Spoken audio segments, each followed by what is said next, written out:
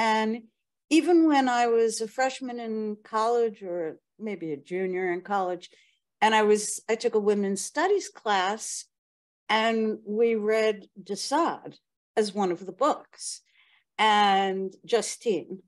And oh my God, I got so turned on. You know, but I knew I wasn't, that I wouldn't be happy in real life in that situation.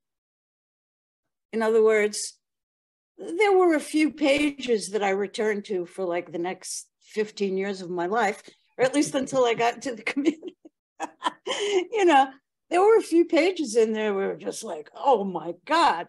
But at the same time, everything else about, I mean, these were really unhappy, fucked up people, right? Violent.